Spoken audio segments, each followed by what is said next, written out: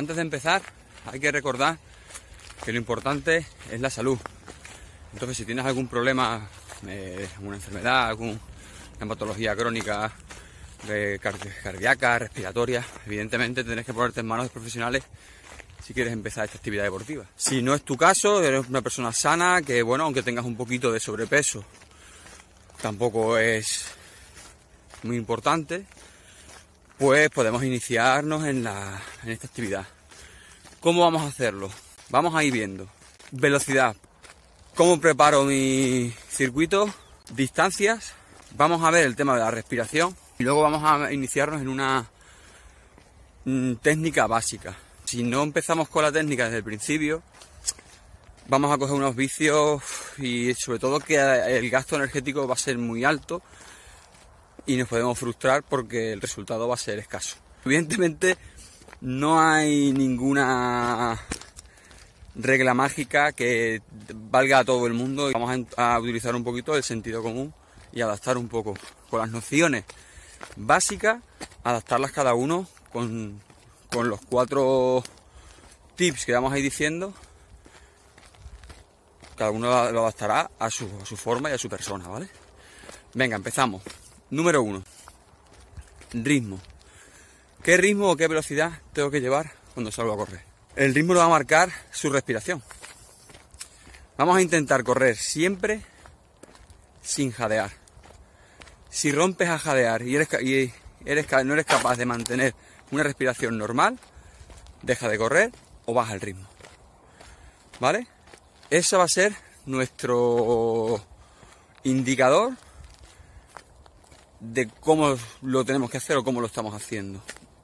Y lo bueno que tiene esto, que evidentemente no todo el mundo va a romper a jadear a la misma velocidad.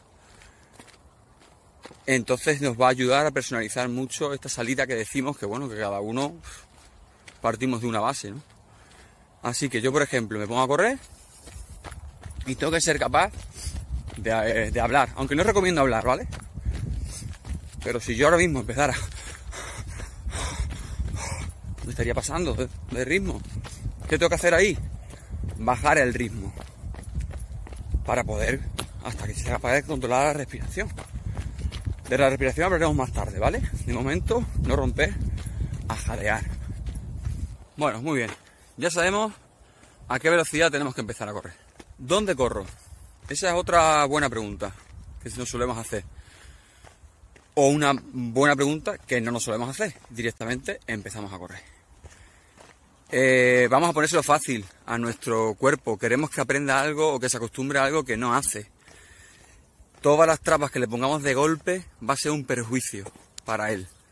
Y sobre todo para nuestra mente. Se corre con la mente, se corre con el cuerpo, pero sobre todo con la mente. Es un deporte que mentalmente te exige, te suele exigir bastante y, y a veces nos autoexigimos bastante. Por culpa de estos cacharritos, muchas veces estás siempre mirando el reloj, el ritmo, vas apretado, les metes y se pierde un poco la alegría de, correr por correr, por disfrutar. Yo voy a intentar que disfrutéis corriendo. Entonces, mm, yo mira, en un campo más bien feo de cojones. Eh, vivo, estoy en Mérida. Eh, hoy es 16 de julio. Ayer llegué del norte de España y, he pegado un cambio de temperatura. Ayer no era persona, ¿vale? Me he despertado temprano porque dormí mal y me he venido a ¿dónde? Pues donde suelo venir yo, que yo es al lado de mi casa, que tiene unas cuestecitas que me gustan, que es súper tranquilo, que puedo ir con mi perrete que está por ahí abajo, no sé si lo veis, corriendo. Y bueno, yo sí, pero yo no empecé aquí. Yo me fui a un parquecito llano que está al lado del río, donde había mucha gente corriendo, andando, había ambiente de, de para correr, te apetecía, es como el que va a una biblioteca a estudiar o a un que hay mucha gente haciendo lo mismo y parece que se contagia. Pues esto es un poco igual, buscaros un sitio que os apetezca, que os sea agradable para vosotros, que tenga que haya que haya más gente, si podéis. Hay gente que dice que yo tengo unas horas muy malas y no sé, pues chico, pues si no puedes, tendrás que apañarte con lo que tengas. Pero si puedes elegir pues elige una zona agradable, una zona con ambiente. Y esa va a ser tu zona de, correr, por lo menos al principio. Luego llegará un momento en el que te quieras salir de allí y deberás salir de allí. Pero vamos a empezar intentando no poner trabas que se pueden controlar a nuestra mente. Mira, salió aquí un perrito, que es lo que tiene el cross campo, pero bueno, el mío es muy tranquilo y no, no está haciendo nada. Otro condicionante sería la distancia. A ver, a mí ahora mismo la distancia es una cosa que no me preocuparía en nada. Lo importante es ser capaz de mantener durante un tiempo corto el gesto de correr. O sea, la distancia se irá ganando con el tiempo. Entonces, la distancia puede variar. Va a variar según el ritmo que seamos capaces de llevar y los tiempos que vamos a ver ahora, que son los que nos va a condicionar la distancia. Me explico.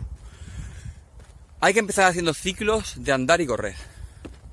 Por ejemplo, yo ahora estoy andando, voy más bien despacio, la verdad. Andar sería más bien andar con brío, ¿vale? Y vamos a hacer tres minutos andando. Tres minutos andando. ¿Qué necesitaríamos? Un reloj. Pero no un reloj con GPS, ni un reloj, nada, un reloj que veamos el segundero y que sepamos, y el minutero, que sepamos los minutos que llevamos. No hay que asesinarse con los ritmos, con la distancia recorrida. Por lo menos al principio, porque si no, gran parte de las personas que fracasan con este tipo de actividad deportiva es porque se frustran. No encuentran resultados, o ven que se cansan más cada, vez más, o que salen un día y no son capaces de salir más, porque están muy cansados. Entonces vamos a empezar poquito a poco y veréis cómo así, en cuestión de unos meses, estáis corriendo. Incluso menos. ¿eh? Vale, entonces, tres minutos. Pasa los tres minutos y me pongo a correr. ¿Cuántos minutos? Dos. Dos minutos. ¿Y si me pongo a jadear al minuto? Bajo el ritmo y aún así no soy capaz de controlar la respiración. Pues no estás preparado para hacer tres minutos. Te pones a andar. De paseo así, pues no, vas andando así. Que puedas respirar bien, pero así. Cuando te quieras dar cuenta, serás capaz de correr los tres minutos. Los dos minutos, perdón. Después de esos dos minutos, ¿qué hacemos? Nos ponemos a andar otra vez. ¿Cuánto? Otros tres minutos. Después de esos tres minutos, hacemos otros dos. Y estos ciclos lo repetimos tres veces. O sea, tres minutos andando, dos corriendo, tres andando, dos corriendo, tres andando y dos corriendo. Y para finalizar, pues un periodo de 3 a 5 minutos de recuperación que nos bajen las pulsaciones, que nuestra respiración se normalice y terminaríamos la fase de, entrenamiento o adaptación al running o a, empezar a correr, ¿vale? Así que, que, evidentemente, si en esos dos minutos corremos más o nuestro paso caminando es más brioso, es más alegre, vamos a hacer más distancia si no vamos a hacer menos. Pero eso no nos tiene que preocupar. Lo que nos tiene que preocupar es ser capaz de mantener nuestro cuerpo en esa actividad durante un tiempo, para que nuestro corazón se vaya acostumbrando, nuestra musculatura se vaya acostumbrando.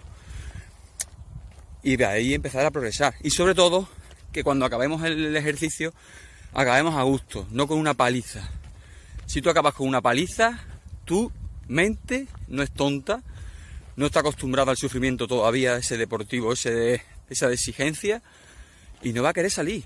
Mañana vas a intentar ponerte las zapatillas o pasado, que yo recomendaría al principio hacer los días alternos y te va a decir que no, que te vayas a paseo tú, que ella no va a correr, que no vas a correr.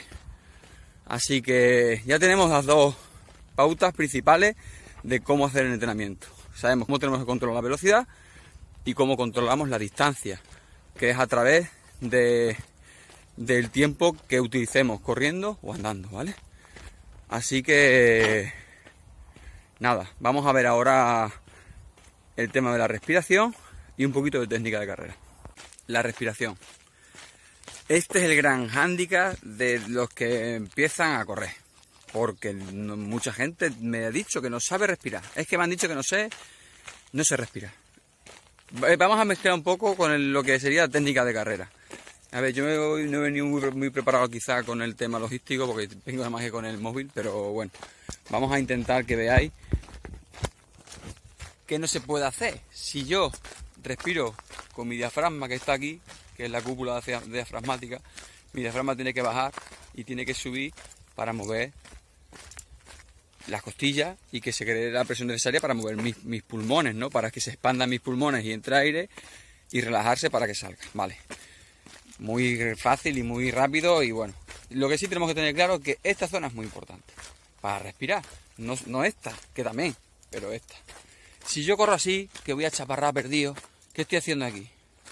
No estoy, yo aquí no soy capaz de casi de coger aire, porque tengo anulado prácticamente el diafragma. Entonces tenemos que trabajar con una postura correcta. ¿Cuál sería la postura correcta? Recto. Vamos a ver, no hay que ir así, como si fuéramos a, que, eh, ortopédicos perdidos. Yo de, hecho mi postura no es que sea muy erguida, que digamos, porque yo reconozco que tengo una postura más bien con de hombros caídos y tal. Pero sí intento tener el pecho lo, lo más recto posible, mi espalda al nivel dorsal.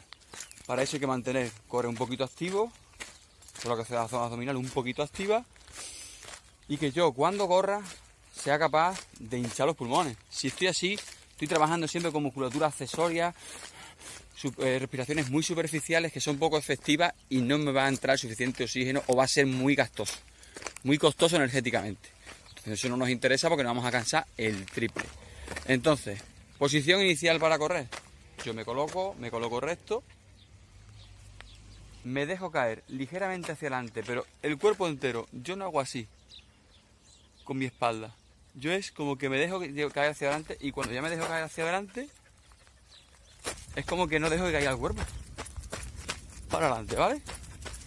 Como veis, estoy recto, no estoy así. Así me cuesta mucho meter aire. Así meto mucho mejor el aire. Es una cuestión de, de anatomía y de mecánica. Norte, vámonos. Ahora me toca subir. Es cuestión de eso, de un poquito también de la postura. Pero luego, claro, lo ideal es, respirar por la nariz. ¿Por qué? Porque lo primero calentamos más el aire, que nos entran los pulmones. Bueno, a nivel de fisiología humana es lo más correcto. Tenemos los pelillos que nos evitan la entrada de polvo, bueno, todas estas cosas. Si yo fuera capaz de hacer así por la boca,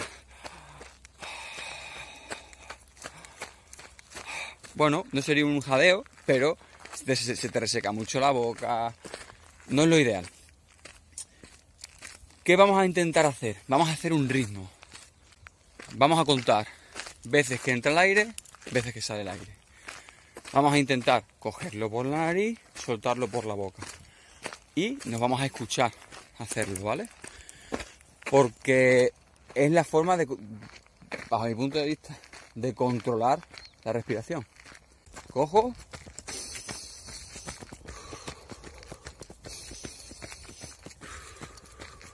1, 2, 3, 4, 1, 2, 3, 4. 2, 3, 4, 1, 2, 3, 4.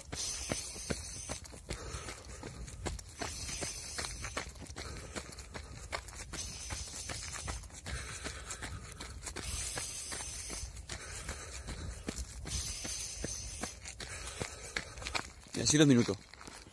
Si somos capaces. Imaginaros,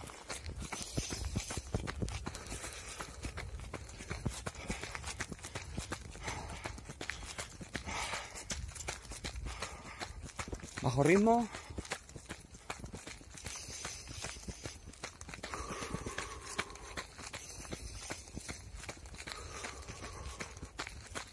Eso sería lo que hemos hablado antes.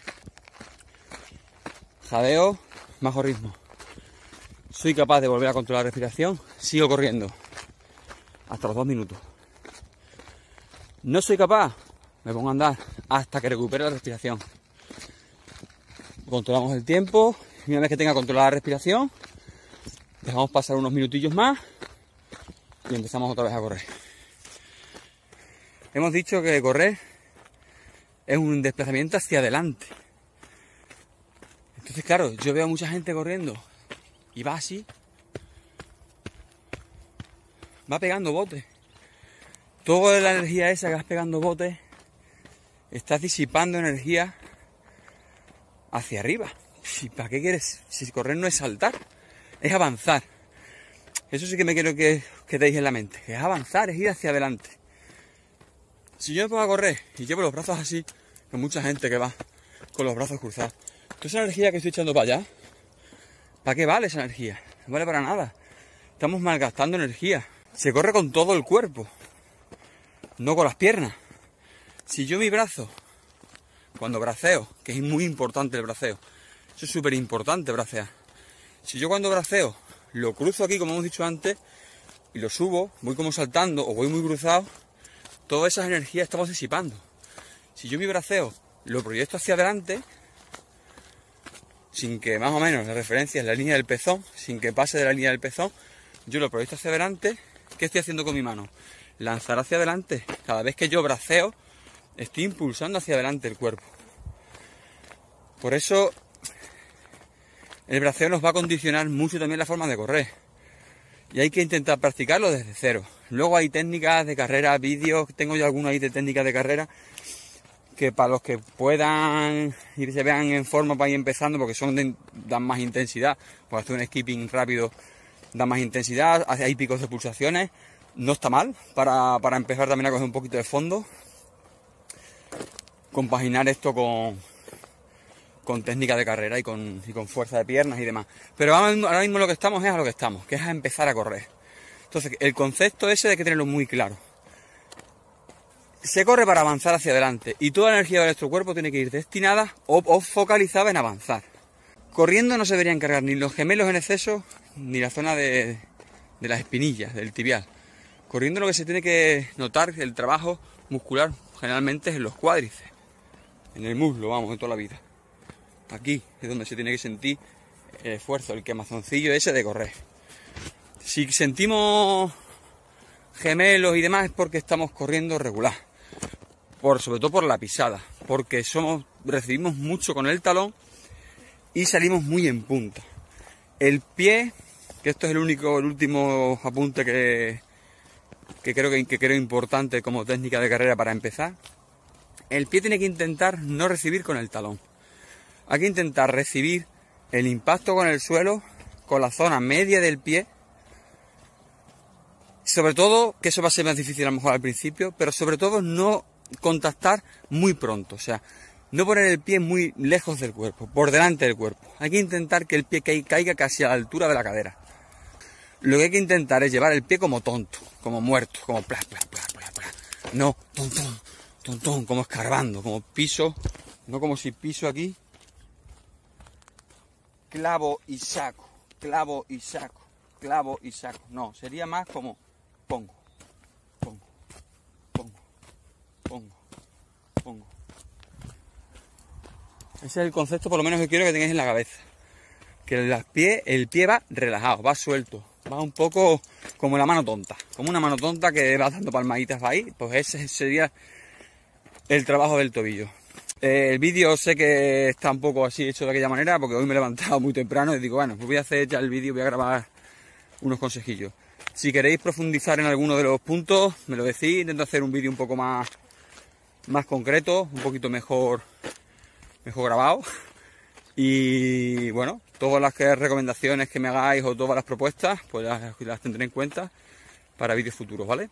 Pues un saludo, si os ha gustado el vídeo, darle me gusta, compartir y suscribiros al canal. Un saludo y tengáis buen día.